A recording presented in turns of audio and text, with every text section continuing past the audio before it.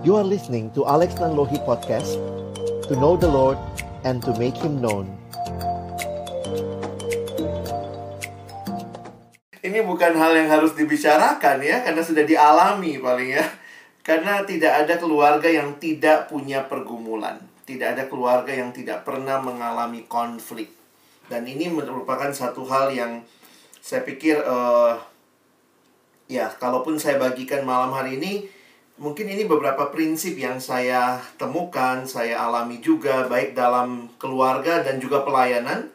Jadi kita akan lihat sama-sama dan nanti mungkin waktu sharing bisa lebih banyak hal yang terungkap ya. Saya coba pakai waktu ini untuk share apa yang saya coba siapkan. Ya baik. Jadi bicara menyelesaikan konflik pasutri ada yang mencoba menggambarkan konflik dengan gambar ini yang menarik juga ya. Uh, betapa mengerikan tanda kutip ya di satu sisi. Nah, uh, satu hal yang menarik waktu kita bicara manusia bahwa Allah yang menciptakan kita. Jadi manusia ini adalah ciptaan Allah dan ketika awalnya Allah menciptakan kita dalam relasi yang indah satu sama lain. Kalau kita masih ingat apa yang dituliskan di Alkitab tidak baik kalau manusia itu seorang diri saja. Uh, kejadian 2 ayat 18. Saya pikir ayat itu bukan hanya bicara untuk pasang-pasangan, pacaran, berkeluarga, tetapi itu sebenarnya adalah dasar kemanusiaan secara utuh. Bahwa manusia makhluk sosial itu bukan hanya teori sosiologi, itu Alkitab sendiri sampaikan. Jadi inilah realita bahwa kita adalah makhluk yang diciptakan Allah untuk juga mengalami relasi satu sama lain. Dan relasi itu awalnya indah, ya. Dan kalau lihat relasi yang paling kecil, paling sederhana yang Tuhan bentuk adalah relasi di dalam keluarga. Karena itu ada satu kutipan yang mengatakan kalimat ini, "The nearest thing to heaven on earth is a happy Christian home." Ya itu indah sekali kalau memang ini jadi sebuah uh, realita yang kita perjuangkan. Bagi saya ketika keluarga Kristen berfungsi dengan baik, perhatikan kalimat ini ya. Ini perenungan bagi saya dan juga bagi teman-teman sebagai keluarga, khususnya bagi kalian yang punya anak-anak. Uh, ketika keluarga Kristen berfungsi dengan baik, bisa dikatakan anak-anak tidak jauh dari iman. Walaupun mereka ada dalam keluarga yang Kristen, teman-teman harus mengabarkan Injil kepada anak-anak. Mereka adalah anak, tetapi juga dalam perspektif Alkitab, manusia berdosa yang butuh Injil.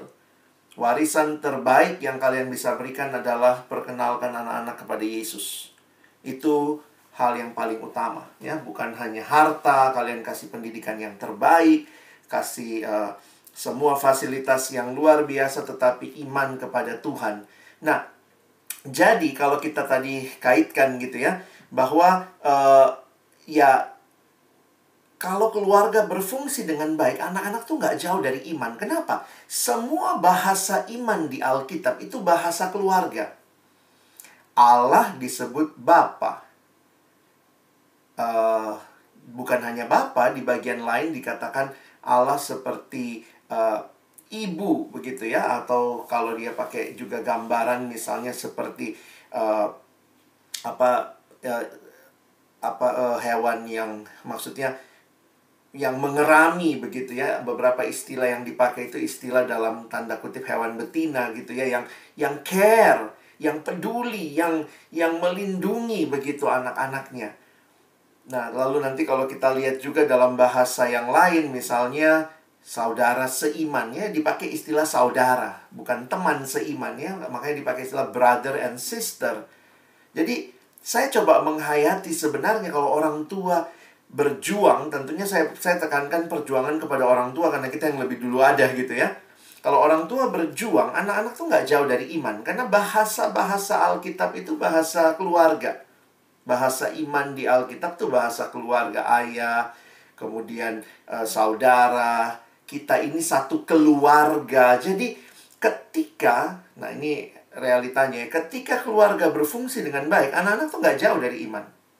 Karena dia udah lihat bapak oh ya kayak bapakku ya jadi gambaran bapak itu dia dapat dari teman-teman para bapak gitu gambaran seorang ibu yang mengasihi ya dia dapat dari mamanya begitu gambaran tentang kita ini keluarga dia lihat gitu ya jadi jangan-jangan nanti begitu anak masuk gereja juga akhirnya ngelihat gini ah sama aja nih kayak keluargaku broken broken juga gitu ya bukan berarti mem bukan berarti tidak ada kehancuran ya kita dalam dunia yang berdosa tetapi realita yang diperjuangkan untuk happy Christian home is a very basic for uh, uh, membangun iman anak-anak. Makanya saya kadang suka lihat kalau keluarga uh, mungkin dia tidak punya banyak hal begitu ya dalam arti materi, fasilitas, tetapi ketika nilai-nilai kerajaan Allah diterapkan, wah itu jadi satu hal yang menarik. Nah, memang yang merusak semua ini kan dosa ya dan ini realita yang kita bisa lihat dari Happy Christian Home menjadi Bart Simpson Home. ya, ya itulah yang terjadi bapak, anak, semua lah itu ya. Dan ini yang kemudian kalau kita bicara konflik, nah teman-teman sudah bisa lihat juga. Memang konflik biasanya antara suami dan istri. Ya. Tetapi jangan lupa ya kalau sudah punya anak sering kali korban utama dalam konflik keluarga sebenarnya adalah anak-anak. Bahkan di beberapa keluarga, bahkan keluarga Kristen yang akhirnya tidak tahan, akhirnya memilih perceraian, dan ini sangat menyedihkan. Dalam minggu ini ada satu yang konsultasi cerita tentang kehidupan keluarga dan nah ini pilihannya kok cerai gitu ya dan ini ya bagi saya sangat menyedihkan ya. Bagaimana menolongnya yaitu masalah lain lagi. Tapi opsi itu terbuka di otak dia. Di satu sisi uh, kemudian akhirnya ini jadi masalah yang yang besar lah karena akhirnya keluarga juga sebagian juga akhirnya mendukung perceraian ada juga yang tidak. Dan belum lagi efek sampingnya ya Beberapa konflik menyebabkan kekerasan dalam rumah tangga, kekerasan yang juga akhirnya bisa berakibat kepada hal-hal yang physical abuse ya. Tetapi bukan hanya physical abuse, kadang-kadang yang lebih menyedihkan, menyakitkan sebenarnya katanya adalah uh, verbally abuse. Kata-kata. Jadi ada suami baik banget gitu, nggak pernah mukul. Tapi kata-katanya itu loh ada istri yang memang nggak pernah sih menikam suaminya, menusuk, tetapi kata-katanya telah mematahkan semangat, telah membuat ya itu mematikan karakter begitu ya. Dan di sinilah saya pikir kita ya kalau konflik itu membangunnya banyak hal lah ya. Mungkin yang saya sampaikan hanya beberapa gelintir di permukaan, tapi kita bicara masalah komunikasi, kita bicara masalah menahan emosi gitu ya hati-hati dengan eh, kadang-kadang kalau sudah hancur, sudah sudah konflik baru kemudian kita benahi, memang itu perjuangannya lebih panjang. Karena itu di dalam uh, nasihat-nasihat pernikahan biasanya banyak yang menggunakan istilah uh, marriage enrichment. Jadi jangan tunggu krisis baru enrich gitu ya, tetapi mari kita belajar enrich belajar memberi pujian, tiga kata utama ya, terima kasih, maaf, tolong. Nah, itu harus dibiasakan. Wah, walaupun kayaknya saya dari dulu sama istri saya nggak kayak gitu ya. Ya masih ada waktu gitu. Yang istri juga kepada suami gitu ya. Tiga kata, three golden words ya. Maaf, tolong, uh, jadi uh, apa lagi satu tadi ya. Uh, minta maaf, uh, tolong dan ya satu lagi tadi yang saya sebut itu ya. Nah, uh, di sisi lain ada juga yang yang dikaitkan dengan terima kasih. Iya, thank you. Kalau bahasa Inggris satu kata ya thanks ya. Nah, di sisi lain memang kita ini makhluk yang kadang-kadang kalau komunikasinya kita udah kesel gitu ya itu kata-kata itu jadi sesuatu yang na nancep ya. Dan itulah kenapa ya kalau kita konflik itu kita tangkap semua dengan sangat kayak sponge gitu. Kita tangkap langsung meresap gitu ya. Kamu itu selalu hmm, selalu kapan aja berapa kali kau coba hitung. Wah selalunya jadi fokus gitu ya. Karena kata selalu itu kemudian menjadi Kamu itu tidak pernah. Wah, lalu kemudian yang muncul di benak kita adalah kita hitung-hitung. Masa nggak pernah? Aku pernah kok kita mulai hitung. Aku pernah sekali gini. Pernah sekali begitu. Jadi kita hitung tuh. Padahal kalau hal ngomong sehari-hari biasa biasa aja atau kita melakukan kepada anak, kepada pasangan, kamu itu nggak pernah mama lihat rapi-rapi. Wah, itu juga hal-hal yang yang tanpa sadar kata-kata itu terekam. Ya, makanya ada yang bilang kalau ditonjok, dipukul dua minggu sih udah hilang bekasnya ya. Tetap sih nggak boleh ya. Tetapi kalau sekali diberikan kata-kata itu mau di tip X pun nggak bisa gitu ya. Yang hidup di zaman tip X ngerti lah ya maksudnya ya. Nah, jadi itulah realitanya. Makanya ketika kita melihat ketahanan sebuah bangsa, sebuah masyarakat itu harus dibangun mulai dari individu, keluarga, masyarakat, negara sampai dunia. Jadi teman-teman, uh, saya pikir ini ini hal-hal yang mendasar yang perlu kita diingatkan lagi. Kalau bicara definisi banyaklah definisi ya. Karena ini sebenarnya dulu materi uh, konflik dalam pelayanan ya. Katanya konflik itu adalah wah ini bahasa buku ya. dua orang atau lebih mencoba untuk menempati maaf ini ada gangguan sinyal mungkin belum muncul di kalian ya dua orang atau lebih mencoba untuk menempati atau menduduki ruang yang sama atau mengontrol sumber-sumber terbatas yang sama. Muncul saat tindakan seseorang yang berusaha untuk memaksimalkan kebutuhannya dan keuntungannya. Menyakiti atau kadang membuat usaha orang lain tidak efektif meningkatkan kepentingannya dan menghambat orang lain. Wah, ini kalau bicara definisi konflik yang di manajemen ya. Tapi saya mau sederhanakan lah buat kita. Konflik itu apa sih? Kalau secara sederhana sebenarnya ada dua hal yang kita terus dalam hidup akan selalu uh, perlu perlu lihat gitu ya, perlu usahakan. Yang pertama, Konflik terjadi karena ada perbedaan. Dan perbedaan ini yang tidak dikelola dengan baik, tidak diterima, tidak dilihat sebagai kekayaan. Nah, perbedaan ini jadi sesuatu yang sangat menonjol. Nah, itu ada dan memang pasti ya, tidak ada dua individu yang sama. Jadi kalau kita bilang kita mau jadi satu, tidak ada perbedaan, nggak bisa juga. Tetapi kalau begitu perbedaan ini berarti harus dikelola dengan baik. Lalu yang kedua, masalah ekspektasi. Karena setiap orang bukan hanya dia punya perbedaan, tapi dia juga punya ekspektasi, punya keinginan, harapan. Jadi sering kali konflik ketika saya sulit menerima perbedaan. Perbedaan ini bisa apa? Melatar belakang budaya. Dalam satu budaya pun cara kita dibesarkan membuat kita juga kayak bisa jadi sulit menerima. Kalian juga mungkin alami ya ada yang dari budaya sama-sama orang Batak tapi di rumahnya kayak begini, yang satu lebih kayak begitu. Belum lagi kalau ada perbedaan misalnya berkaitan dengan uh, satu anak bungsu, satunya anak tunggal, satunya anak sulung. Nah, itu akan sangat berbeda. Dan kemudian ke, setiap kita dalam hidup juga punya ekspektasi. Nggak salah, jadi jangan juga hilangkan ekspektasi. Kalau itu sekarang saya nggak usah punya ekspektasi. Tetapi realitanya, ekspektasi kita yang berbeda juga itu ekspektasi yang kita mau kadang-kadang kita membuat mencapainya tidak dengan cara yang tepat begitu. Jadi akhirnya saya lihat dua hal ini dalam konflik yang sering kali harus kita sadari, ya. Nah, ini nanti kita bisa lihat lah kalau kalian misalnya konflik tentang sesuatu ya jelas pasti ada perbedaan, paling tidak perbedaan cara pikir, cara pandang. Lalu kedua ada ekspektasi. Nah, Kenapa saya harus masukkan ekspektasi? Karena sebenarnya menyelesaikan konflik, kita mesti dengar ekspektasi masing-masing. Karena bisa jadi apa yang kita ekspektasikan sama. Tapi dengan bahasa yang berbeda. Saya juga mau yang terbaik kok buat anak-anak. Jadi kadang-kadang kita itu juga mencurigai ekspektasi orang. Nah ini jangankan dalam keluarga ya di pekerjaan, di ini. Jadi bisa jadi kita satu tim pelayanan. Nah, maaf saya karena bicara pelayanan ya. Satu tim pelayanan itu kan siapa sih yang mau yang jelek buat pelayanan ini?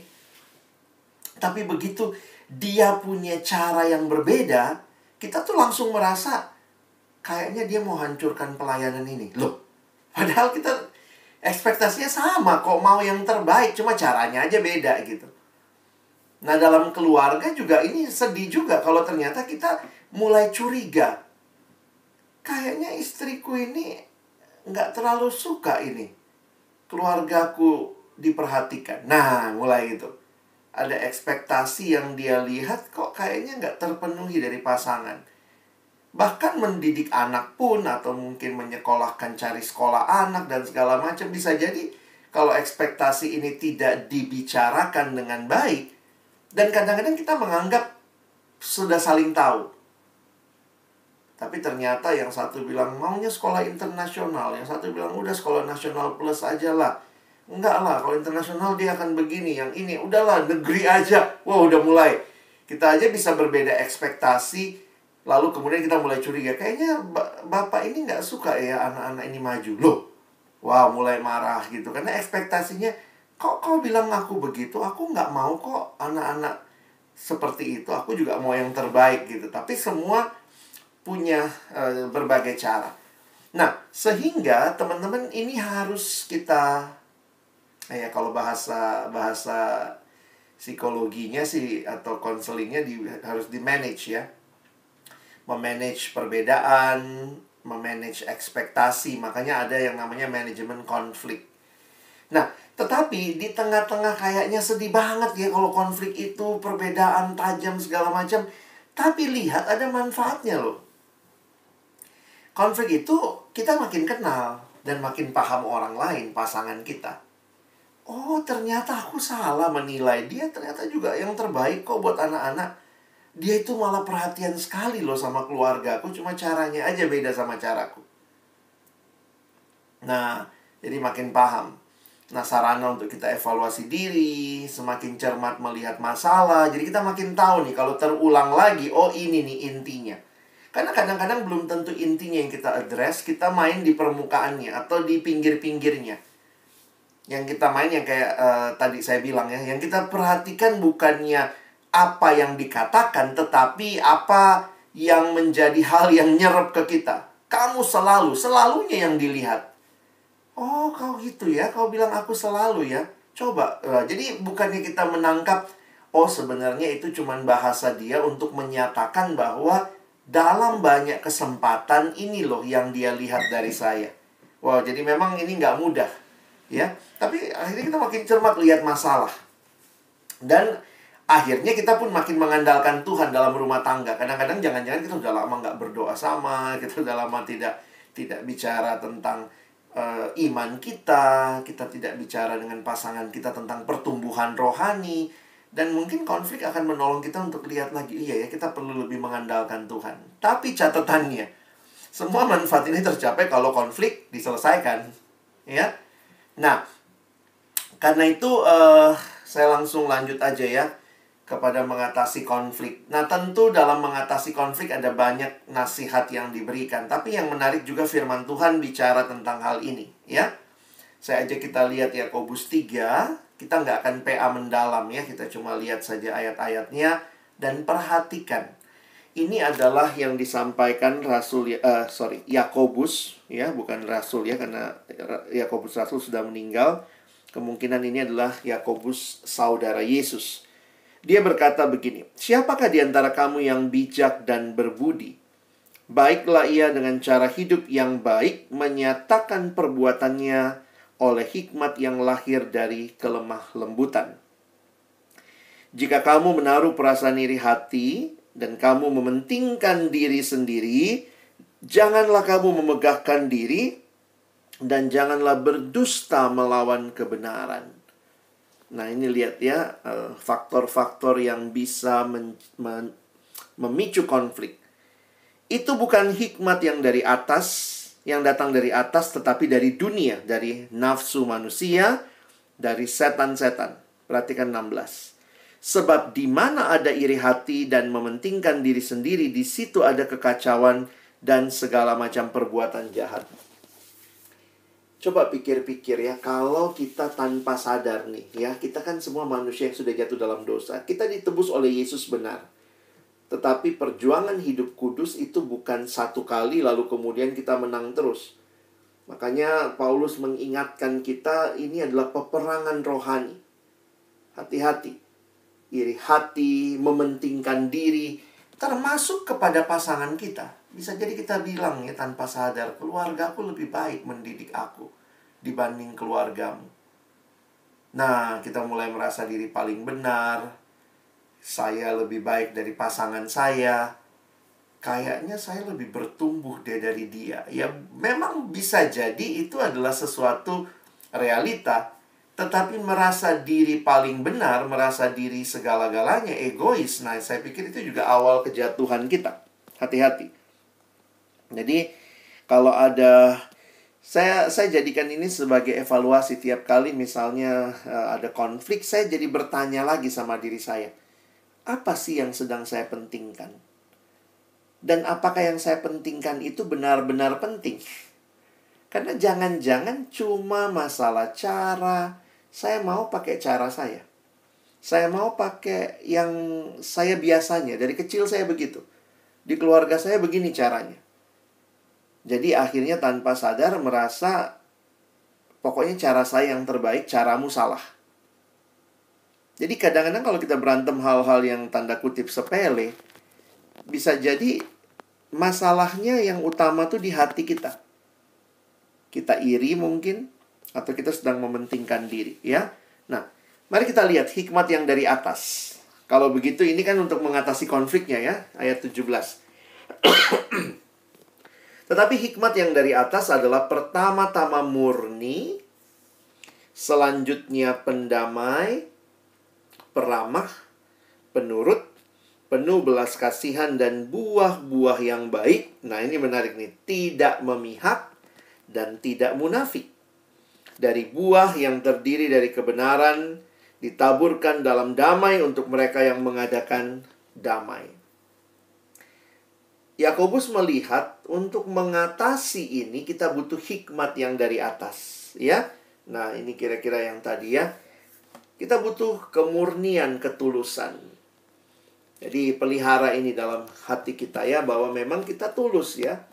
Jangan bulus. Jangan punya akal-akalan di balik itu. Perdamaian, damai yang dari Allah dengan tindakan dan perkataan yang mendukung kepercayaan. Nah, ini masalah kepercayaan juga penting. Penuh belas kasihan dan buah-buah yang baik. Tidak memihak, tidak munafik, dan juga ada pengampunan. Teman-teman yang paling sedih memang kalau kita konflik kadang-kadang kita maunya balas dendam. Wah, itu kayaknya udah sifat manusiawi banget ya. Kau cuekin aku tadi kan? Nah, kau rasakan sekarang dicueki gimana? Wah, jadi kita kadang-kadang memberikan kesempatan untuk pembalasan dendam itu kita pupuk, bukan buah yang baik. Saya pikir paling sulit itu ya, apalagi dengan pasangan kita. Kayak kau, biar kau tahu rasa sakitnya tuh seperti apa. Dan ini kalau kita biasakan, akhirnya benar sih kita bilang nanti baik juga kok sendiri. Tetapi yang kita kita taburkan bukanlah sebuah kasih yang mengampuni, tetapi selalu adalah uh, kalau bisa kau dapat yang lebih sakit Lalu kita tambahkan lagi ya. Mungkin dengan cara begitu bang, dia baru bisa sadar. Kalau dia nggak sadar, udah kau rusak dirimu, kau tambah sakit, kau jadi tidak benar, dia pun nggak sadar. Bukan tambah sulit. Jadi saya saya belajar ya bahwa untuk menyadarkan orang tidak selamanya dengan membalas dendam. Bisa jadi itu konsekuensi ya. Ada ada yang namanya konsekuensi untuk menolong dia belajar, tetapi jangan biarkan hati kita menjadi hati yang tambah busuk hanya untuk membalas dendam dengan alasan supaya dia belajar. Kalau memang dia mau belajar ya kita harus pakai cara yang baik yang saya pikir uh, ya Tuhan bisa pakai berbagai cara ya. Nah, makanya kita juga berserah sama Tuhan untuk pasangan kita. Tidak memihak. Nah, ini juga butuh ya, tidak memihak, tidak munafik Nah, tidak memihak ini memang dalam situasi tertentu eh, kadang-kadang nggak mudah. Karena uh, kita sendiri biasanya memihak kepada apa yang kita anggap benar. Jadi ini boro-boro bukan untuk orang lain saja, tapi untuk diri kita. Bisa jadi kita lihat benar juga sih yang dia bilang, tapi kayaknya saya nggak rela deh untuk kalah debat sama dia. Jadi akhirnya kita tanda kutip memihak pandangan kita yang kita tahu sebenarnya nggak sepenuhnya benar juga. Oke, jadi langkah praktisnya apa? Bicarakan dengan tenang. Nah, setiap orang beda-beda ya. Ada yang waktu konflik maunya langsung selesai saya pikir teman-teman sudah lebih dari 10 tahun pernikahan, kalian kenal lah pasanganmu ya. Ada yang memang habis konflik atau pada saat konflik tuh nggak bisa diselesaikan langsung saat itu karena dia butuhnya tenang dulu.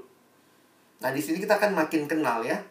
Bicarakan dengan tenang, kalau perlu minta bantuan pihak ketiga. Tapi poin saya adalah begini.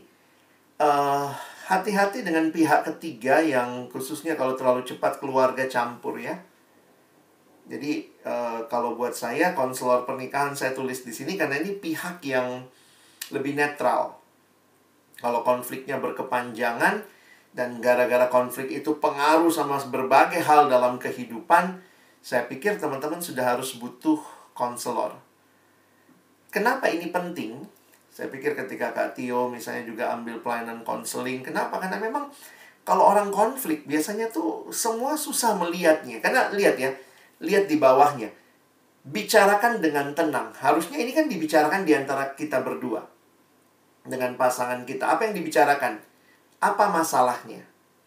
Lalu reaksi apa? Perasaannya apa? Reaksinya apa? Lalu share perasaan masing-masing. Nah, bayangkan kalau dua yang konflik ini membicarakan ini tidak dengan kepala dingin. Nah, makanya kadang-kadang butuh konselor yang bisa melihat keduanya. Karena kalau saya keluarkan perasaan saya, bisa jadi pasangan saya merasa saya diserang dengan perasaan dia. Nah, jadi akhirnya memang untuk situasi yang sulit, kita perlu uh, konselor. Makanya ada teman-teman yang sekolah khusus buat hal-hal seperti ini karena saya pikir nah ada survei, surveinya agak sedih sih sebenarnya ya.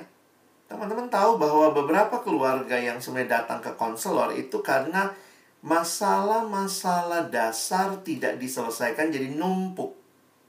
Numpuk, numpuk, numpuk, numpuk. Kayak orang koleksi perangkok. Terus dinumpuk gitu ya. Terus setiap kali konflik terus ditempel lagi, ditempel lagi. Nah begitu mau dibuka, wah itu ada yang sobek-sobek begitu ya. Dan sedihnya, ini ini buat kita lah yang di atas 10 tahun pernikahan ada beberapa keluarga yang membiarkan mendiamkan konflik yang sudah bertahun-tahun dan biasanya sekitar tujuh tahunan lalu kemudian itu pecah jadi konflik yang lebih besar jadi selama masih bisa berdua diselesaikan cobalah tapi kalau kalian rasa butuh konselor nah ini juga konselor pernikahan itu tidak semuanya kalau sudah masalah besar ya kadang-kadang kalau kalian merasa kita butuh juga orang lain yang memberikan. Kadang-kadang begini, KTB sangat membantu. Saya sangat bersyukur dengan KTB-KTB keluarga. Karena kadang-kadang kita mau tegur suami kita atau istri kita. Kalau kita yang ngomong kayaknya susah. Nah, terus dia dengar lah waktu sharing uh, suami orang atau istri orang sharing. Saya begini-begini loh, saya berjuang loh, perhatiin. Nah, terus kemudian mulai kalau di KTB kami biasa tuh, dengar pak, dengar itu dengar itu kayak bapak si anu kau ya. Jadi itu secara tidak sadar bisa menolong kita melihat bahwa iya ya ada bagian dalam diri saya yang memang harus dibaharui.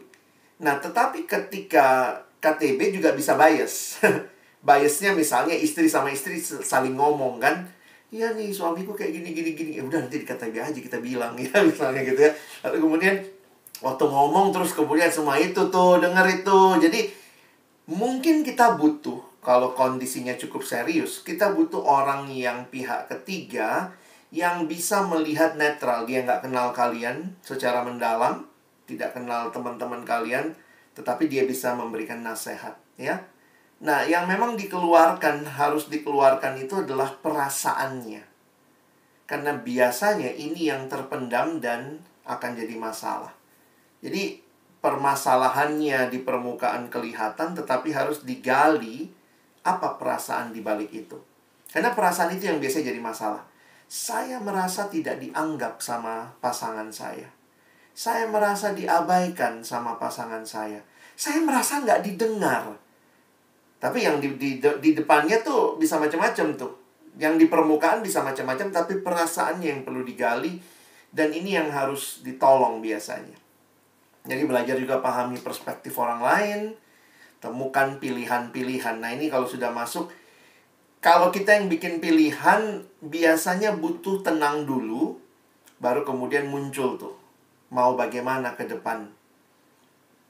Atau misalnya kalau kayak begini terjadi lagi sebaiknya seperti apa. Nah, itu biasanya kalau sudah agak dingin kepala ya. Kalau saya sama istri biasanya manajemen konflik kami bicarakan waktu lagi waras. kami pakai istilah waras ya kalau lagi berantem agak susah tuh. Kalau waras kita tentukan nih. Kalau konflik, kamu sepertinya seperti apa sih? Misalnya dia bilang, saya tuh maunya diam dulu bang. Abang jangan paksa-paksa terus, ayo ngomong-ngomong. Terus saya bilang, tapi saya maunya kamu kasih tahu. Kalau nggak, saya nggak bisa tidur. Saya nggak tahu ini kau kesel sama aku. Kau ngadep sana, aku ngadep sini. Jadi, waktu kita saling memberitahu, kasih tahu, lalu kemudian kita stepnya apa, dari situ kita jadi bisa tahu walaupun waktu berantem kadang-kadang juga ternyata apa yang pernah disepakati nggak kejadian juga ya tapi paling tidak waktu lagi waras tuh butuh tuh misalnya ya untuk beberapa teman saya pernah ketemu juga ada orang gereja yang kalau berantem nggak mau di depan anak misalnya begitu jadi maksudnya kalau kita berantem ada selisih paham atau apa, yuk kita keluar rumah, kita ngobrol di tempat lain gitu. Ada yang pergi ke taman, kadang dia bilang kalau mau teriak teriak teriak kita di taman, tapi jangan depan anak-anak misalnya. Itu itu semua kan manajemen yang teman-teman bisa pertimbangkan. Tetapi paling penting adalah sebenarnya kita bisa jujur dengan perasaan masing-masing. Kita bisa lihat, nah itu yang tadi ya, kita berbeda kamu nggak bisa paksa pasanganmu menjadi seperti yang kamu mau. Tetapi kita bisa pahami perbedaannya dan kalau saling jadi menarik kan? Dia ngerti perspektif kita, kita ngerti perspektif dia. Lalu set ekspektasi. Jadi untuk sama-sama percaya bahwa saya mau yang terbaik kok buat pernikahan ini. Jadi hati-hati juga dua hal tadi ya, perbedaan dan ekspektasi. Ya karakter yang dibutuhkan ya Alkitab bicara saling percaya, trust, rendah hati ini pernikahan ya, bukan masalah menang kalah. Kadang-kadang suka gitu, tanpa kita sadar kita pikir kayak lagi bertanding Italia sama Inggris ini ya. Jadi nanti ya kalau tuh kan menang aku pendapatku yang dipakai. Nanti besok oh aku yang menang. Besok lagi kita kalau seperti itu menikah itu bukan pernikahan, itu pertandingan. Kita butuh kerendahan hati. Belajar melihat ada goal yang besar yang mungkin untuk itu saya perlu merendahkan diri. Tidak semua yang saya katakan benar, mungkin begitu. Lemah lembut, sabar, kasih. Nah, sebagai penutup Tuhan berikan keselamatan buat kita untuk kita responi dan terus makin bertumbuh. Dan saya yakin Tuhan mau kita menikah juga terjadi pertumbuhan saya pikir nggak bisa dilepas. Keselamatan adalah anugerah, pertumbuhan harus terjadi seperti kalian punya anak. Tidak mau dong anaknya kecil terus. Kita suka sih lihat anak kecil, tapi kalau anaknya kecil terus, itu nggak bertumbuh. Dan kalau dia terus bertumbuh, nah ini yang kita rindukan. Nah dalam hidup, komitmen bertumbuh juga harus terjadi di keluarga. Nah kita selalu ingat Tuhan kasih tiga hal utama ya. Pertama, Tuhan kasih tiga hal ini untuk pertumbuhan kita. Pertama, dia kasih roh kudusnya. Diam di hati setiap kita. Makanya saya sih tetap meyakini kalau keluarga Kristen mau dengar-dengaran pada Tuhan, ada roh kudus dalam hati kita. Roh kudus itu kan menginsafkan akan dosa, menolong kita untuk kita bisa uh, hidup benar, hidup kudus. Percaya Tuhan kasih roh kudus ada di pasangan kita, ada di anak-anak kita yang percaya, yang mereka mengaku Yesus sebagai Tuhan dan Juru Selamat. Yang kedua, Tuhan kasih firman. Firmanmu pelita bagi kakiku, terang bagi jalanku, termasuk bagi hidup keluarga kita. Ya, prioritaskan firman jadi bagian penting dalam hidup keluarga. Dan Tuhan kasih komunitas. Nah, apa yang teman-teman nikmati dalam KTB ini, saya pikir jadi satu cara Tuhan untuk membangun terus kerohanian kita. Oke, maaf agak panjang sedikit tapi kira-kira Dari saya itu yang bisa saya bagikan. Selebihnya saya juga mungkin bisa dengar cerita dari teman-teman bagaimana teman-teman juga mengatasi atau mungkin kalau ada hal yang bisa kita diskusikan saya persilakan. Thank you. Oke, terima kasih Bang. Uh, sekarang giliran kita teman-teman kita sharing bertanya boleh sharing juga silakan karena ini kan tema sama-sama ya kita tentuin bersama nih temanya jadi kita sama-sama merasa kita butuh tema ini. Mungkin siapa duluan yang bisa sharing? Silakan. Abang sampaikan ada manfaatnya juga dari dari konflik bang ya. Iya. Kita mengerti pasangan kita dan kita tahu apa yang harus kita lakukan. Kalau bicara frekuensinya gimana bang? Hmm. sebaiknya perbedaan itu kan ada. banyak frekuensinya ya, kita makin tahu gitu.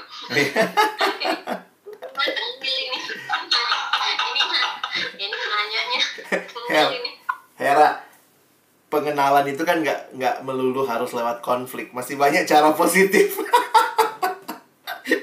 Tapi ini mah pengen dia bang. Tadi manfaatnya bagus kan bang ya? Makin Iya. berarti kan kita tingkatkan frekuensinya kan bang ya bukan Hera kalau nggak nanya kritis begitu dari dulu itu. Ya kita bersyukur lah. Pasti ya, konflik itu ada manfaatnya. Dalam Alkitab juga karena perbedaan itu jadi satu hal yang selamanya ya. Jadi kita pikir saya pikir memang kita harus antisipasi konflik itu ada dan saya juga percaya ya kalau Tuhan memberikan perbedaan itu Tuhan kan juga bisa mengasah kita lewat perbedaan itu untuk bertumbuh. Makanya ada ayat di Amsal eh, besi menajamkan besi orang menajamkan sesamanya nah yang paling menajamkan kita kan pasangan kita Nah, tiap hari sama dia terus gitu ya. Nah, tapi itu yang saya bilang tadi, mengenal, membangun juga banyak hal-hal dengan cara yang positif. Cara yang diusahakan. Makanya tadi ada pelatihan-pelatihan sekarang yang namanya marriage enrichment. Kalau kalian tertarik eh, boleh ikut gitu ya retret-retret marriage enrichment karena dia mengajarkan hal-hal positif tentunya dalam membangun. Makanya kayak tadi ya pakai 5 3 golden words belajar memberi perhatian. Jadi gimana supaya kehidupan pernikahan itu di-enrich? Karena banyak orang bilang eh, merasa begini, dia udah dia udah pasanganku, udah seumur hidupnya kami begini. Tetapi sama kayak tanaman, kalau nggak di-cultivate, tidak dikasih pupuk, nah itu juga hati-hati. Beberapa pernikahan sudah sangat hambar. Dan beberapa pernikahan khususnya yang sudah punya anak yang besar itu bertahan cuma karena anak dan cuman kayak kontrak aja. Nggak ada lagi getar-getarnya, nggak ada lagi eh, apa ya. Nah, jadi kalau saya lihat sih di satu sisi cobalah untuk membangun itu. Makanya ada yang bilang gini, jatuh cinta itu gampang, mudah. Yang sulit itu bangun cinta. Karena membangun cinta itu harus terjadi sampai hari ini. Nah, kalau ditanya seberapa sering konflik itu, ya saya pikir sih eh, teman-teman yang harus bisa lihat gitu ya. Em, kalau konflik, jadi kalau saya melihatnya ini juga, kalau kita konfliknya hanya terus-menerus di hal yang sama, berarti kan kayak nggak selesai-selesai ya. Walaupun juga itu hal yang unik ya. Bapak mama kita yang mungkin nggak pernah ikut perkantas pun juga ngalamin kan. Orang tua cuman sampai sampai udah menikah sekian tahun ada yang konflik gara-gara mencet odol. Jadi itu kan yang satu mencet dari bawah, satu mencet dari tengah. Ada yang mencet cara bersihkan tempat tidur, melipat selimut. Nah, poin saya adalah ada hal-hal kecil yang memang udah kayak begitulah kehidupan ya. Makanya biasa dengar nggak dari orang tua kita gitu. Nggak ngerti mama sama bapakmu itu ya. Lah, mama aja nggak ngerti gimana kami yang merit kan situ ya. Padahal udah merit sekian tahun loh.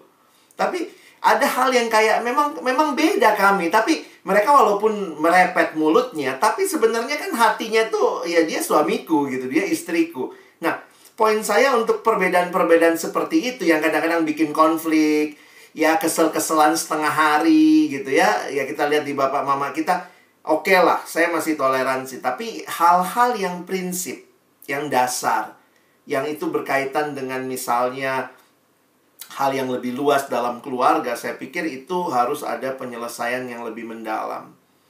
Dan itu yang saya pikir kalau itu terjadi sering-sering dan ber- berarti terulang terus, berarti kita nggak pernah sebenarnya punya kesepakatan dasar, ekspektasinya nggak kita samakan begitu. Jadi saya tetap melihat konflik itu membuat kita sadar kita berbeda, tapi di sisi lain juga jangan terlalu sering konflik, apalagi untuk hal-hal besar, karena itu berarti kita nggak pernah solve that problem. Mungkin itu kali Her. Iya bang. Iya. Makasih bang. Sama-sama. Sabar kau Marlina ya.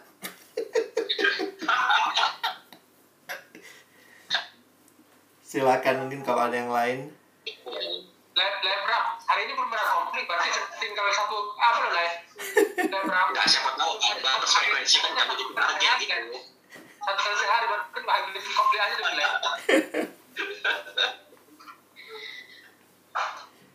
Oke, mungkin dari aku bang sedikit. Iya, Ya. silakan. Eh, mungkin aku nggak terlalu menyimak secara menyeluruh, tapi mungkin salah satu hal yang perlu yang apa ya, yang dasarnya ya dalam hal menyelesaikan konflik itu memang adalah satu eh, apa eh, menerima apa adanya ataupun tanda kutip mungkin apa mensyukuri lah ya menerima apa adanya lah seperti itu pesan kita. Tetapi Iya. mungkin ini agak sedikit berkontradiktif dengan apakah orang yang bisa menerima apa adanya itu artinya tidak memiliki ekspektasi mungkin bisa bang terangin nggak Hmm, korelasinya seperti itu bang Nah ini menarik nih, pertanyaanmu banyak dalam konseling pernikahan juga begitu ya.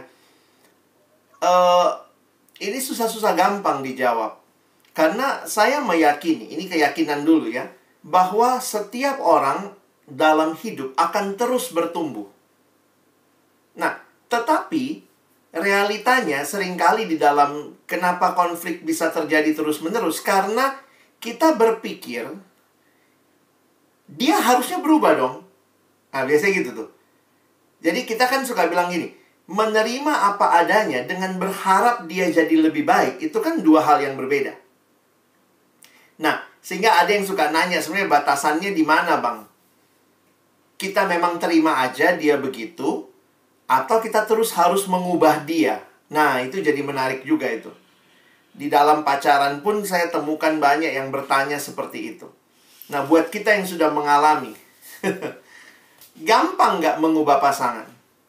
Be, sampai Tuhan Yesus datang itu kayak nggak bakal selesai ya. Tapi poin saya adalah begini, menerima dia, tapi jangan pernah menutup atau menutup kerinduan kita untuk pasangan kita juga mengalami pertumbuhan. Makanya saya mungkin pakai istilah pertumbuhan lah ya. Karena kalau perubahan itu kan kadang-kadang ekspektasinya dari yang saya eh, saya nggak suka kok pakai baju itu. Ya kita minta dia berubah. Tapi kan poin saya sering kali itu cuma masalah selera. Tetapi ada beberapa hal yang saya yakini, saya tetap meyakini karakter bisa diubah oleh Tuhan, oleh situasi, karena karakter itu adalah sesuatu yang bertumbuh melalui proses. Ada Tuhan di situ, ada situasi, ada orang lain, ada pertumbuhan diri. Nah, jadi saya tetap meyakini menerima misalnya istriku cerewet, Bang. Istriku pokoknya eh, sulit sekali mengampuni misalnya. Istriku sulit mengampuni. Ya udahlah, saya terima aja dia sulit mengampuni. Saya pikir satu sisi, ya mungkin sekarang itu yang bisa kau lakukan. Menerima dia adalah orang yang masih belum terlalu sanggup mengampuni. Tetapi kerinduanmu bagi dia, doamu, saya yakin harusnya bukan hanya ya sudahlah inilah dia. Tetapi Tuhan proseslah dia. Nah, yang memang harus kita jaga adalah hanya karena dia belum seperti yang kita pikirkan, jangan menganggap kita lebih baik dari dia. Karena kadang-kadang waktu gini, masa ngampuni gitu aja nggak bisa? Katanya Kristen.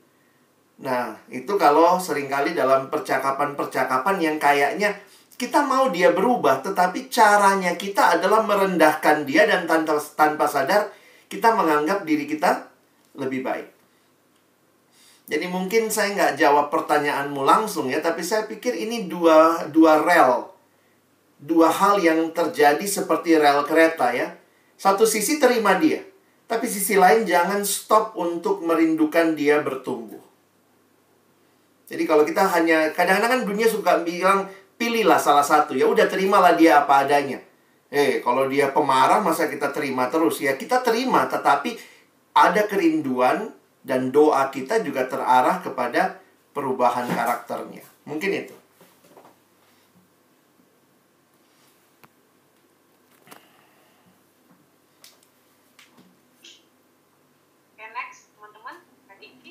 Lain mau minta berubah apa sama Dede?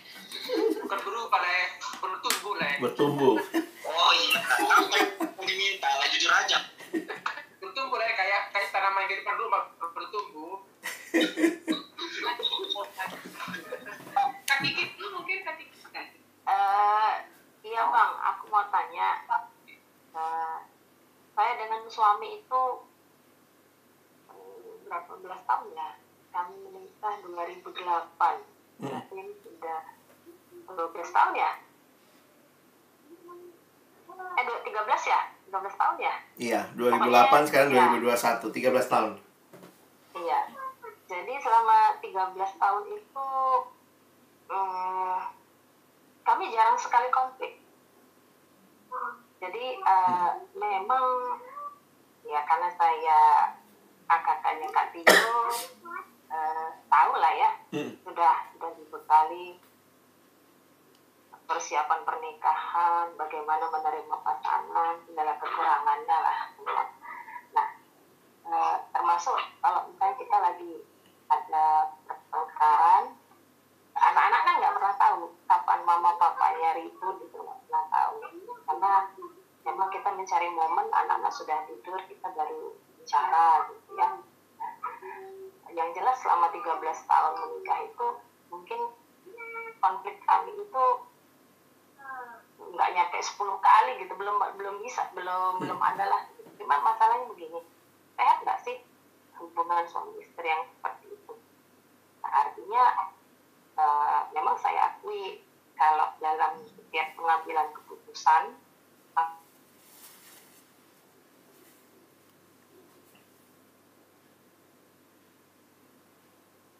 Sinyal ya.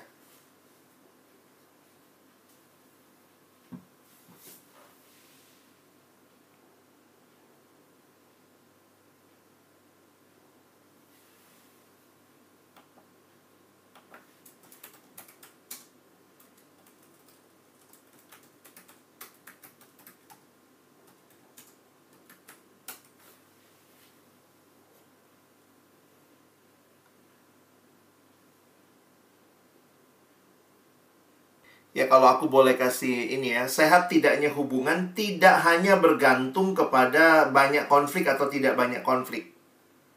Memang ada orang-orang yang punya pemahaman ya. Pemahamannya misalnya gini, wah nggak pernah konflik. Ada yang bilang gini, kalau pacaran harus konflik besar dulu, baru kalian siap menikah gitu. Kalau pacarannya kayaknya mulus-mulus aja.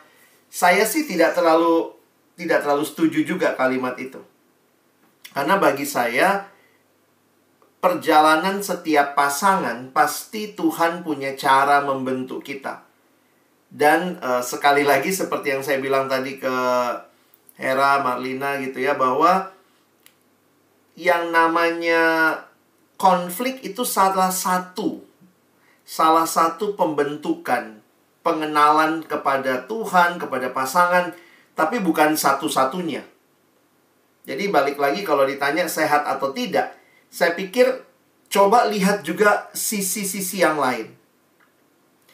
Sisi-sisi yang eh ya kalau kita nanti misalnya mau jujur gitu ya, sebenarnya ada ada materi lain lagi untuk melihat sebenarnya jangan-jangan kita bisa jadi tidak banyak konflik karena kita cuek menyelesaikan perbedaan atau ya jadi kita kayak bisa jadi merasa ya sudahlah saya terima dia apa adanya begitu.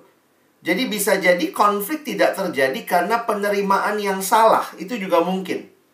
emang suamiku ini penjudi ya, bapaknya penjudi, mamanya suka judi, keluarga besarnya judi ya sudahlah. Ya udahlah dia judi itu udah di dalam darah dagingnya lah. Sehingga kita diam dan nggak ada konflik. Kenapa? Kita pun support dia. Yang penting saya nggak judi, tapi dia judi ya terserah dia gitu. Nah itu bagi saya uh, potensi konflik yang diredam hanya karena kita menutupi dengan saya menerima dia apa adanya. Dan bagi saya itu nggak sehat sih kalau kayak gitu. Nah, jadi poinnya adalah lihat perbedaan-perbedaan kalian, lalu ya syukuri bahwa memang kalian sudah bisa saling menerima, tapi mungkin ada hal-hal, nah ini yang kalau ditanya tadi ada 10 kali kali ya. Tadi Kiki bilang kayaknya ada 10 kali bang kami, misalnya yang agak besar, coba aja lihat yang agak besar itu gimana? Oh belum sampai 10 kali ya? Hmm, hmm. Tapi boleh dipelajari itu polanya 10 kali itu atau yang belum 10 kali itu karena masalah apa? Dan apakah hal-hal itu memang sudah sudah terselesaikan dengan baik? Kalau memang sudah baik, puji Tuhan, gak usah kita bilang, ayolah kita berantem-berantemin apa yang udah jelas, enggak lah, enggak begitu sih. Kalau saya penghayatannya begitu.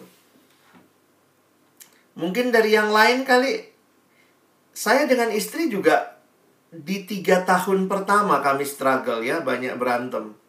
Tapi ke belakang ini, ini tahun yang ke-10 kami, udah jarang. Bahkan hampir nggak pernah. Bukannya karena apa ya, jadi kesel-keselan ada gitu ya, tapi ada beberapa hal yang karena memang sudah dibicarakan, saling memahami, tapi ya kita juga waktu evaluasi ya bahwa jangan sampai terjadi kita saling membiarkan ya udahlah ke karena kamu kayaknya begitu aja. Makanya saya kesimpulan saya semua itu tadi ya. Tetap ada kerinduan bertumbuh. Dan bertumbuh itu adalah proses yang Tuhan berikan pada pasangan kita bersama dengan Tuhan bersama dengan kita. Dan bagusnya kalau dia bilang tolonglah saya juga bertumbuh dalam aspek itu. Nah jadi kayak dia sendiri sadar dan kita diajak untuk bersama menolong dia gitu. Jadi itu prosesnya lebih enak kan ketimbang kau mesti berubah begini ya. Udah bahasanya nggak enak, kesannya saya yang maksa dia. Jadi mungkin itu uh, prinsipnya yang saya bisa bagikan.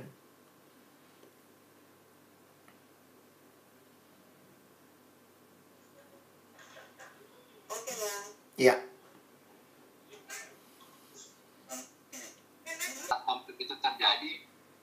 Memang aku ya pada saat berdoa memang tetap aku doakan gitu bang supaya konflik itu bisa langsung selesai memang hmm. ada konflik yang bisa selesai pada saat itu juga ada juga butuh waktu gitu seperti hmm. itu sih bang Iya, yeah, thank you sharingnya, Dek. Apakah dalam pengalaman kalian uh, konfliknya antara berdua saja kah atau juga ada dengan keluarga secara lebih luas? Kalau kalau paling sering sih ya dari konflik keluarga dari dari anak juga kan dari tapi paling banyak sih dari dari pribadi kami masing-masing gitu. Hmm, hmm. ya mungkin karena orangnya sama-sama keras kali bang ya. Iya iya. Ada konflik yang nggak bisa diselesaikan pada saat itu. Tapi ya kalau menurut aku sih ya jadi semakin banyak konflik itu jadi kita semakin banyak mengenal pribadi pasangan kita itu gitu hmm, hmm. banyak pribadi yang ini ya tapi ya ya namanya kita sudah satu dalam satu ikatan keluarga ya kita yeah. harus tetap menerima dengan dengan apa adanya atau seperti itu ya betul memang manusia tidak orang yang sempurna gitu bang ya pastilah hmm. ada kekurangan kita seperti itu sih bang hmm, hmm. apa itu bang tapi bersyukurnya gini bang apa namanya tadi aku mau nanya juga sebenarnya uh, kalau ada konflik nanti baiknya kan dibahas diomongin gitu ya bang ya. Karena hmm. memang kalau pas lagi konflik seperti yang aku bilang tadi kadang semua uh, jawab jawaban gitu. Tapi kadang dia eh, nggak uh, jawab aku kadang juga itu telinga gitu biar nggak terjawab lagi dari aku gitu. Jadi caranya kan suka terpancing ya kalau nggak dengar selalu tidak pernah gitu kan. Gitu ya tutup telinga dulu gitu akhirnya nggak dengerin apa apa nah maksudnya sebenarnya pada waktu terjadi konflik kan kita pengen uh, baik gitu ya. Sebenarnya masalahnya apa sih? Tadi bersyukur juga bang tadi uh, coba apa namanya mengatasinya apa gitu. Sebenarnya diomongin baik-baik gitu ya bang ya. Karena memang benar. Saya pikir juga sebenarnya tujuannya sama-sama baik gitu ya. Hmm. saya tujuannya sama-sama baik cuman mungkin pendekatannya ini yang mungkin agak sedikit berbeda yang sebenarnya itu caranya sebenarnya bisa diomongin baik-baik sebenarnya Betul. Hmm. Mungkin uh, ada uh, bersyukur juga sih tadi diingatkan lagi Hmm. dan kemudian yang mau saya tanya sebetulnya sebenarnya siapa sih yang bisa memulai lebih dahulu yuk kita omongin ini gitu Hmm. Uh, sebenarnya kan tergantung masalahnya sangat apa namanya tergantung masalah dan tergantung kesiapan masing-masing ya berharapnya sih pada waktu aku berinisiatif ngomong jangan sampai uh, apa namanya maunya disambut baik gitu. Iya, atau iya. Mungkin seperti itu kali bang Hmm. sebagai contoh kayak tadi lah ya cuma salah misalnya ada masalah. Jadi dia aja gitu ketemu di tangga dia Wah, itu? Ya udah. Gitu. Tapi kayak nggak tenang. Ya tapi bersyukurlah Tuhan eh, apa namanya ya berbi, ber, berbicaralah melalui banyak cara dia di kamar sebelah aku di kamar sebelah. Dari hmm. tadi dia Bangga mana, Nes? Bangga mana tadi? ini, ini eh, mau makan siang. Aduh masa aku yang ngajak sih? Gitu kan Iya. masa mau makan sendiri gitu? Terus dia tidur di kamar anak-anak. Aku bingung kan gimana? Dan apa yang belum selesai sebenarnya? Cuman ya udah gitu. Dia Hmm. tidur. Uh akhirnya nyamperin. Udah langsung peluk yuk makan gitu Hmm. dan bersyukur kan ya udah ayo Itu level berapa? Le, le Farel itu level berapa itu? dasar itu maksudnya level tiga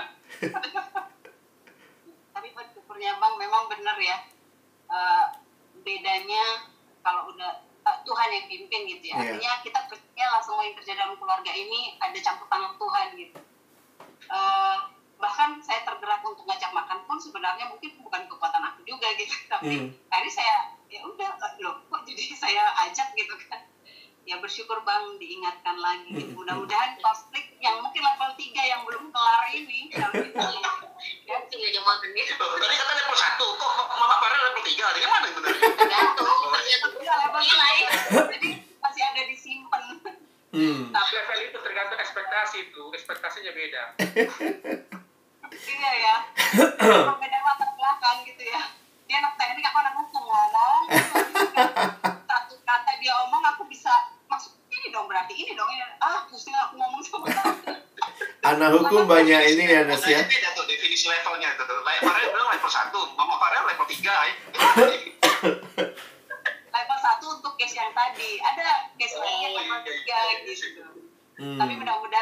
Lewat ini kita ngomong baik-baik nanti ya terima Iya. kasih terima kasih Thank you. Mungkin kalau respon sedikit Nes apa eh, Sarwa sama Agnes berkaitan sama ini ya. eh siapa yang harus mulai dan segala macam ya. Itu itu sebenarnya sangat ya sangat tergantung yang hati kita tadi ya. Berusaha banget jangan sampai punya balas dendam. Tentu ada wah kita tuh makhluk yang itu yang saya bilang ya dalam hal egois untuk balas dendam itu kita kita udah S3 itu nggak usah sekolah itu ya kayak udah dokter semua kita di situ. Sama lah kalau saya disakiti saya pingin sakitin balik bahkan lebih sakit dari apa yang saya rasakan. Itu kayak kebiasaan kita. Nah jadi kepada pasangan juga eh, ingat pernikahan bukan kompetisi pernikahan bukan ajang balas dendam ini adalah per- per- ajang yang Tuhan berikan untuk saling membangun, saling mengisi, saling mengasah. Jadi sebenarnya siapa yang tergerak duluan langsung eh, apa ya? Bangunlah relasi. Kalian pasti punya cara lah ya, misalnya entah memeluk atau misalnya tiap orang pasti punya cara lah. Sudah 10 tahun udah saling tahu lah caranya gitu. Walaupun gengsi-gengsinya ada tapi sebenarnya begitu itu dilakukan sebenarnya itu cair.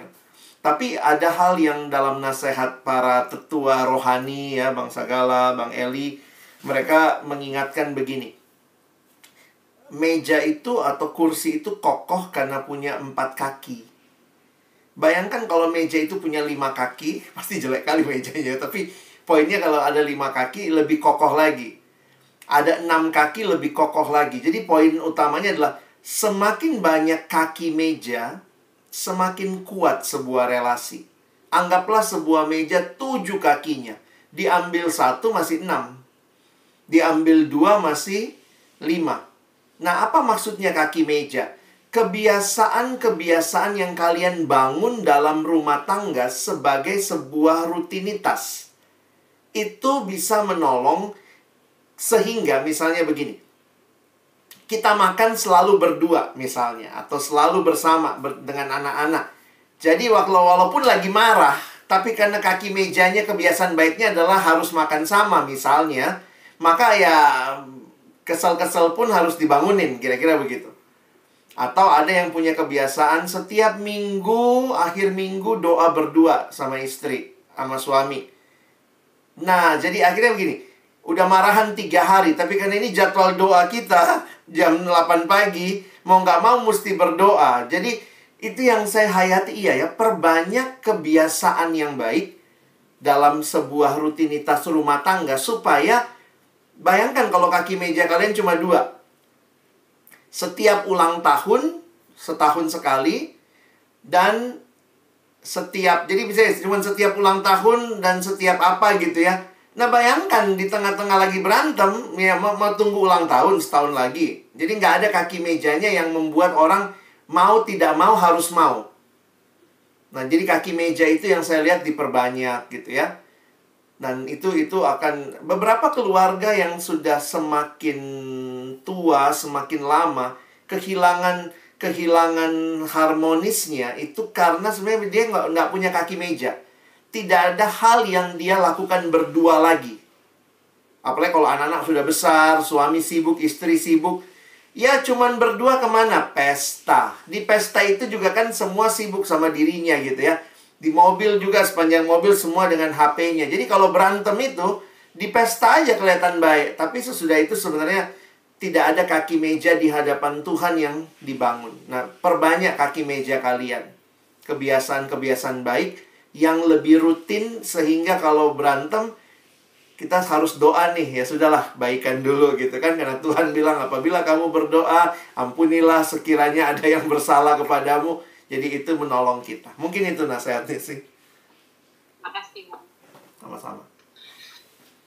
Meja Kak Kiki dulu pakai ban, Bang, nggak pakai kaki. yang yang kayak di kafe-kafe itu ya. Benar. Kak Kiki aja nggak Kiki mejanya pakai ban. Ban. itu lagi nggak kate lagi meja itu Nggak, nggak ada lagi ya. Aku aku sedikit ya bang Iya, silakan Dek. kalau kami sih kalau konflik aku tadi lewat tangga nggak nggak bersapa kalau kami tempat tidur itu di tengah jadi luas karena satu ngadep mana satu ngadep mana kayak gitu kan. Terus ada bantal guling yang nutupi muka gitu ya kan. Oke. nah terus eh, yang membuat kadang-kadang saya menikmati pada saat KTB kayak yang abang bilang tadi kadang-kadang KTB itu membantu. Bukan kadang sih sangat membantu komunikasi yang biasanya kita tersendat ketika ngomong berdua itu nggak bisa Iya. Nah, saya terbantu di situ karena saya tipenya nggak eh, lebih menyimpan orangnya. Jadi pada saat KTB ketika membahas topik yang kebetulan kena, kadang bisa jadi terungkap di situ. Jadi bisa sampai makanya ketika kami membahas buku misalkan Secret Marriage atau eh, Secret Parenting dan yang awal-awalnya dulu tentang apa pernikahan apa gitu.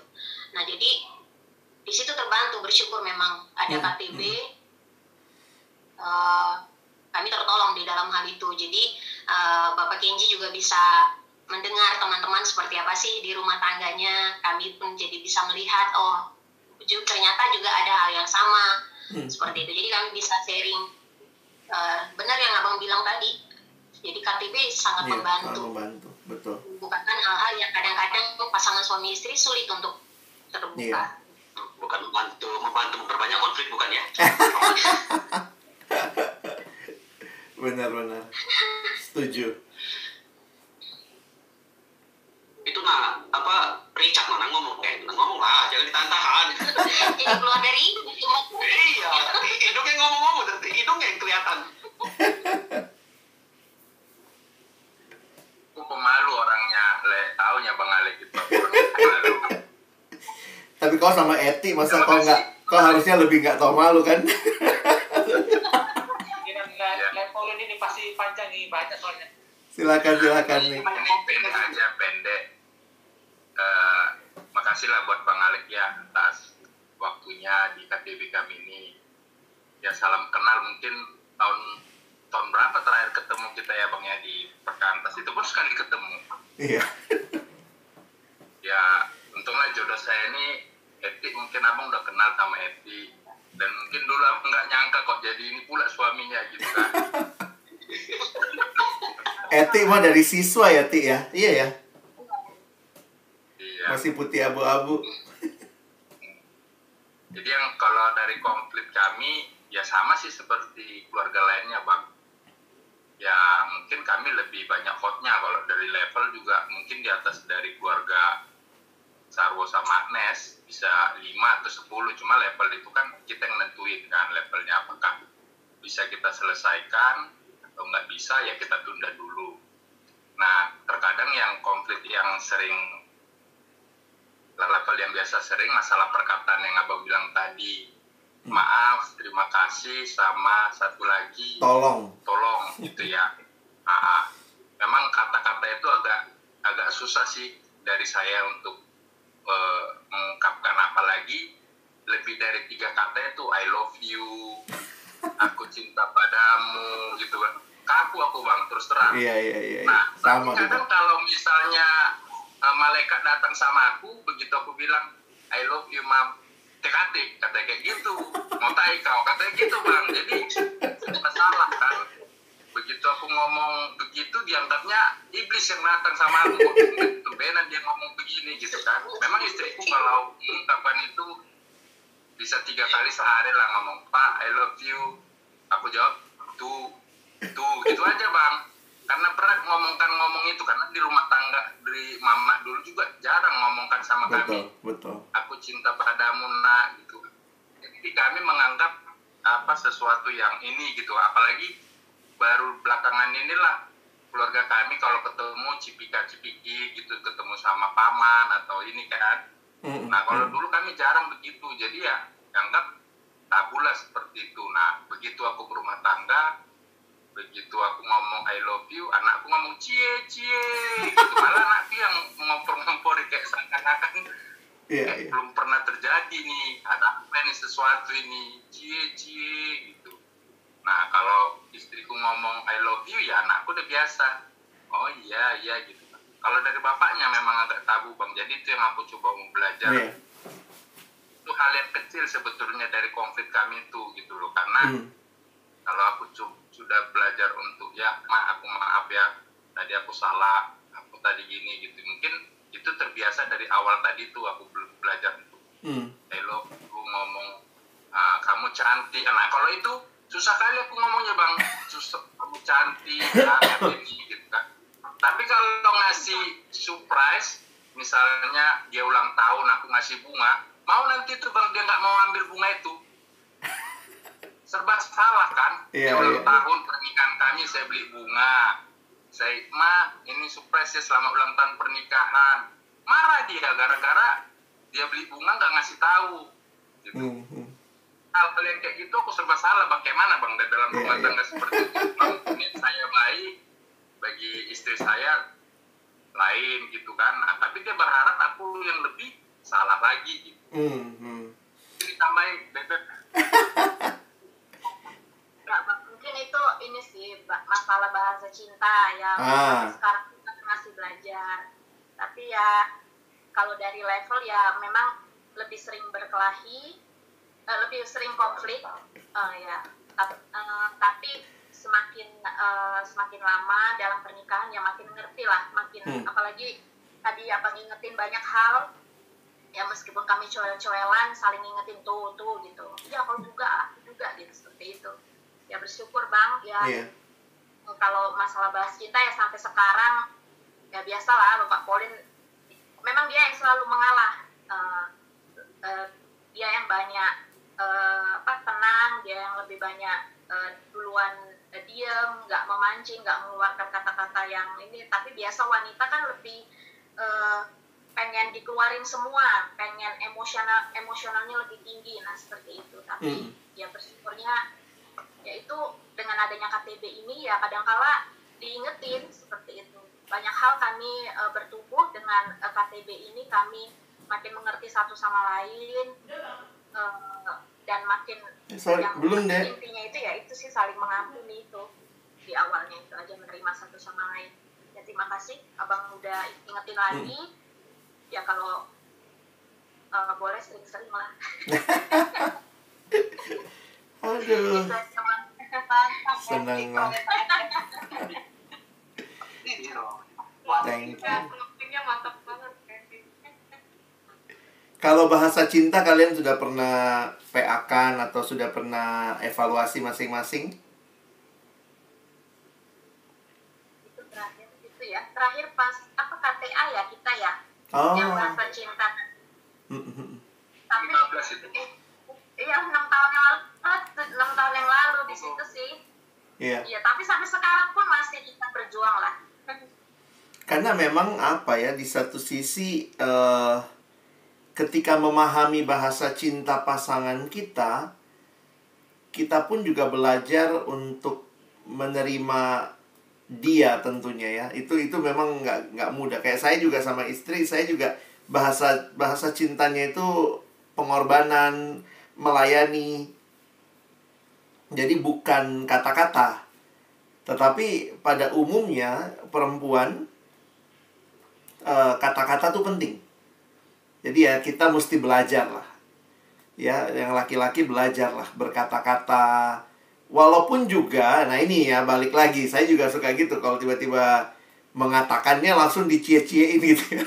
Di wih gitu ya kayak tumben romantis misalnya. Jadi sisi yang lain sih ya belajar menerima tapi juga belajar untuk eh, memberi, memberi bahasa kasih pasangan kita dan pasangan kita juga mengerti bahasa kasih kita. Saya juga sadar bahasa kasih bisa jadi tidak tepat ketika eh, kayak misalnya gini. Kita hanya menuntut bahasa kasih kita yang diperhatikan. Nah, ini yang kadang-kadang juga jadi eh, jadi misalnya gini ya buat buat saya ya saya harus ngerti bahwa bahasa kasih istri saya adalah kata-kata dan kehadiran. Sementara saya bahasa kasihnya adalah pelayanan, eh, pengorbanan gitu ya dan dan itu eh, istri saya harus belajar ngerti saya, saya harus belajar ngerti dia. Sehingga ini yang kadang-kadang ya namanya dalam hidup begitu ya. Dan poin saya begini loh, jangan juga berlindung di bahasa kasih. Saya memang kata-kata mau apa ya ya nggak mesti gitu juga gitu ya. Mungkin eh, Niko mesti rajin-rajin nonton drama Korea juga ya. Biar belajar bahasa-bahasanya. Sarange-sarange gitu ya yang kita juga nggak ngerti itu apa. Tapi ya itu itu.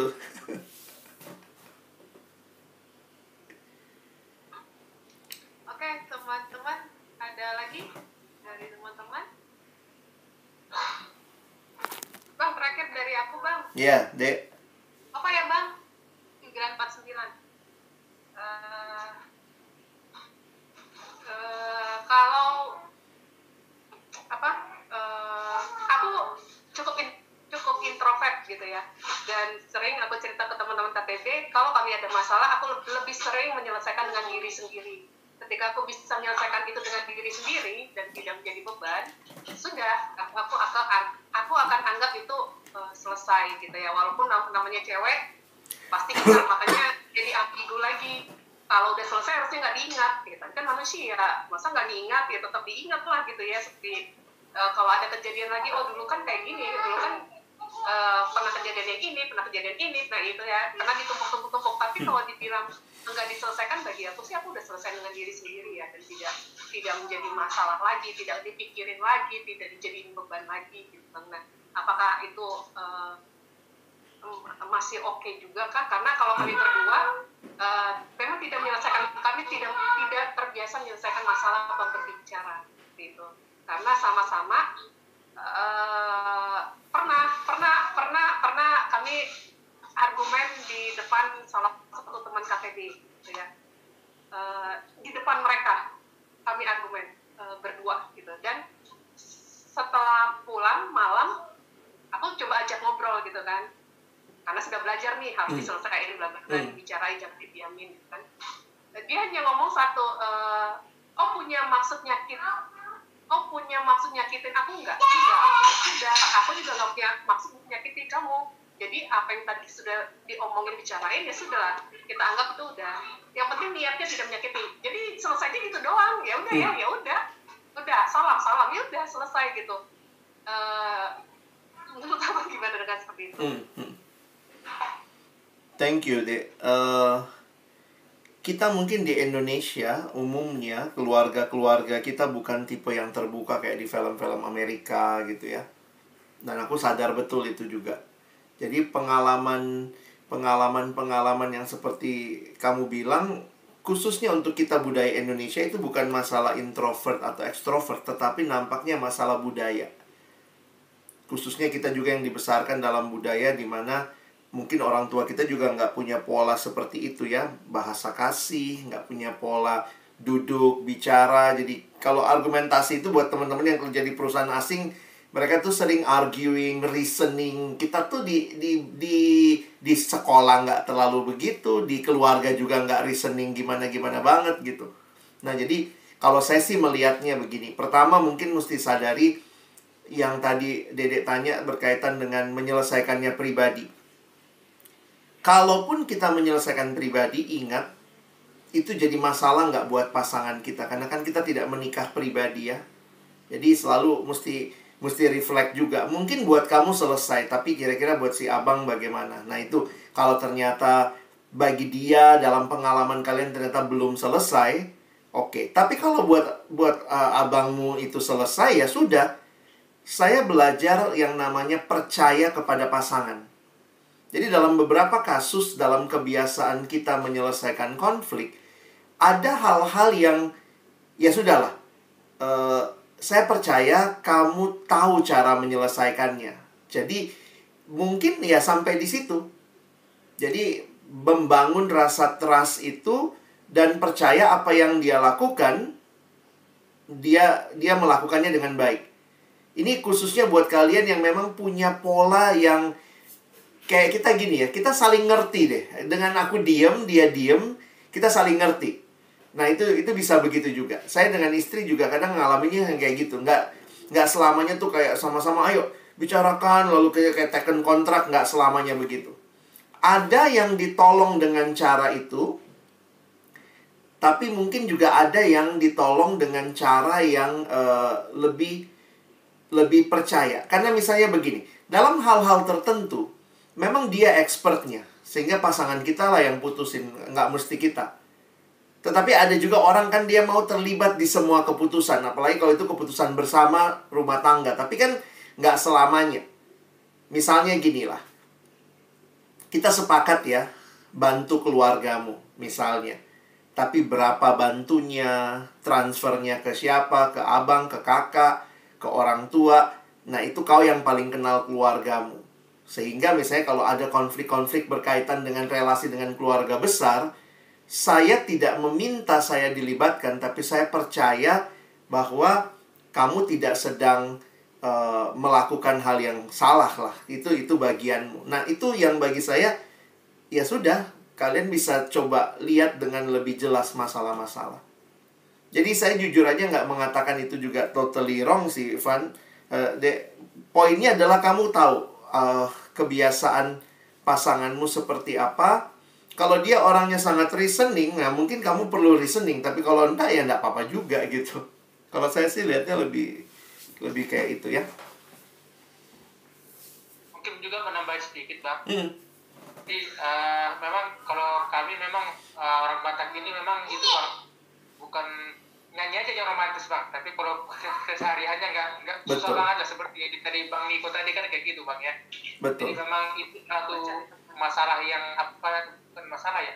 Oh, mungkin perilaku apa yang mungkin budaya yang yang yang Hmm. ke bawah lah. Ya, Hmm, dari dari dari kampung seperti itu bang. Jadi memang itu satu hal.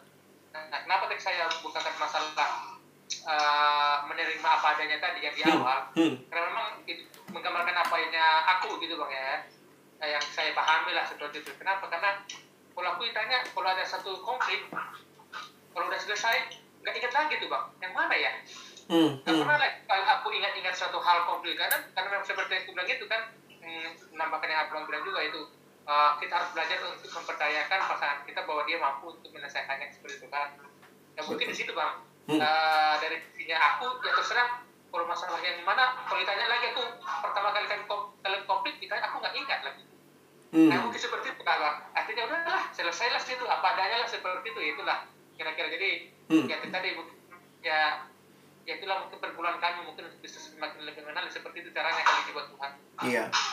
Sejauh kalian sepakat dan maksudnya itu menjadi pola yang yang kalian anggap baik sih no problem ya. Nah, cuma mungkin concern saya lebih kepada nanti gimana ke anak-anak ya. Sebaiknya kalian punya pola yang disepakati ya, tidak harus mengulang pola orang tua kalian. Nah, ini poin saya misalnya eh, kebiasaan mengatakan kalimat-kalimat yang mensupport anak. Saya pikir sih banyak juga orang Batak yang saya lihat sudah berubah yang di kota inilah ya.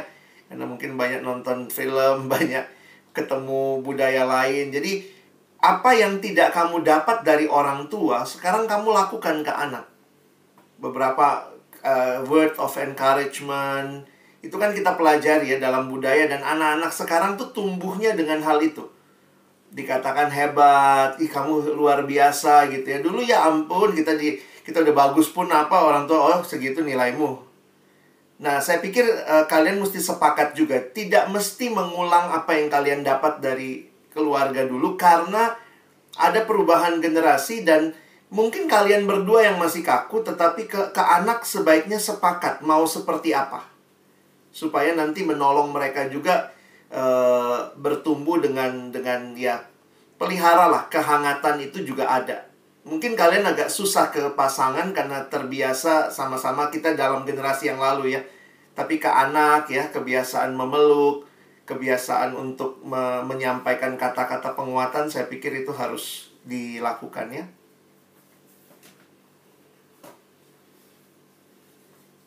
Bang, Eh, teman-teman kita eh, dilayani dan mendapat pelayanan dari Bang Alex. Eh, ya banyak hal yang bisa kami pelajari bang, diingatkan kembali di eh, ya mengaji banyak hal yang kami diajarkan kembali walaupun pernikahan sudah di atas 10 tahun tapi eh, tetap bergumul lah ya tetap belajar untuk bisa menjadi pribadi-pribadi lebih baik dan menjadi yaitu suami istri yang semakin sehati jadi ke anak-anak juga seperti tadi yang bilang bisa banyak hal yang bisa kami lakukan ke anak-anak tidak membawa pengajaran lama tapi hal-hal yang yang baru yang terbaik kita kami rubah lah dari pengajaran lama menjadi yang sekarang.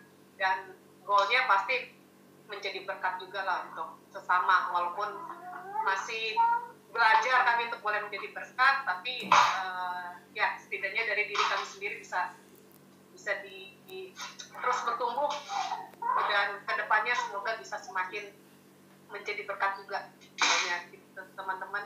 Eh, sebelum kita doa penutup kita